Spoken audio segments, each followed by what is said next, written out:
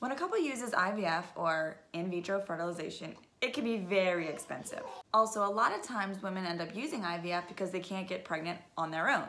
Now, there's probably a reason that she's not getting pregnant on her own, and IVF tends to bypass that reason.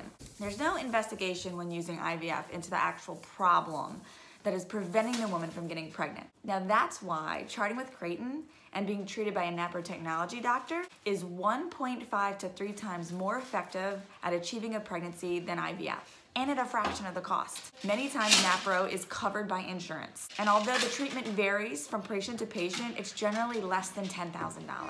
And on top of that, you're getting the problems of your issue dealt with and addressed. So even if a pregnancy isn't achieved, it's possible that you can achieve other benefits like decreases in pain, improvements in hormonal issues. Another thing is if you do end up getting pregnant with IVF, the problem still exists, so you might not sustain that pregnancy. But if you were to achieve a pregnancy with NaPro technology, it would be the natural way and the problem would be addressed. So it's more likely that that pregnancy would be full term. And again, once you have that baby, your problems have been addressed, so you feel better. It's kind of a win-win-win situation if you think about it. I hope that more people can discover this treatment.